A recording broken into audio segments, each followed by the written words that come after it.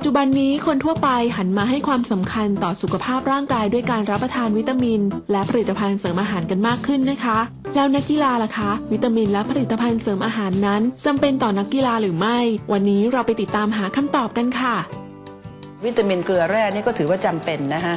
แต่โดยทั่วไปเราก็จะบอกว่าอาหารห้าหมู่หลากหลายพอเพียงเนี่ยเป็นคัมภีร์เลยนะอันนี้ใช้ได้แล้วนะฮะให้มันหลากหลายไว้เถอะ และถามว่าถ้า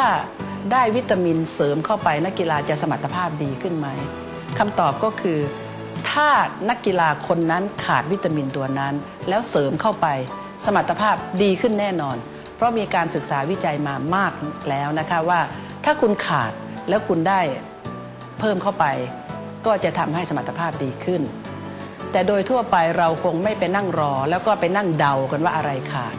ส่วนใหญ่เราก็จะบอกว่าเวลาทานอาหาร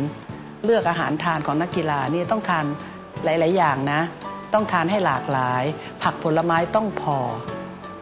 เวลาเราพูดถึงผักผลไม้เนี่ยก็จะแนะนำว่าผักผลไม้วันหนึ่งวันหนึ่งควรจะได้ประมาณสักครึ่งกิโล ทั้งผักกับผลไม้นะคะ ถ้าทานตรงนั้นได้เราก็จะเห็นว่าได้วิตามินเกลือแร่ที่พอเพียงเลย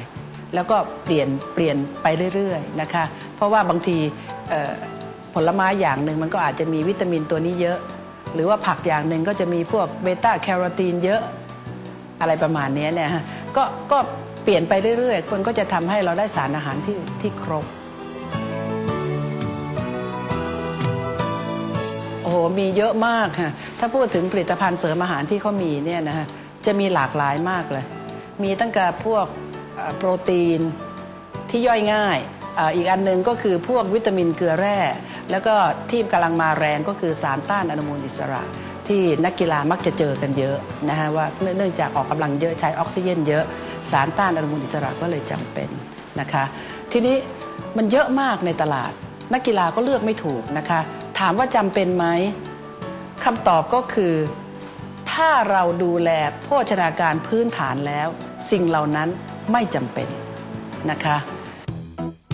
นี่คือรายการวิทยาศาสตร์รอบตัวนะคะ วิทยาศาสตร์นั้นอยู่รอบๆตัวเราและสัมผัสได้ค่ะ ติดตามเรื่องน่ารู้ได้ใหม่ตอนหน้าสำหรับวันนี้ สวัสดีค่ะ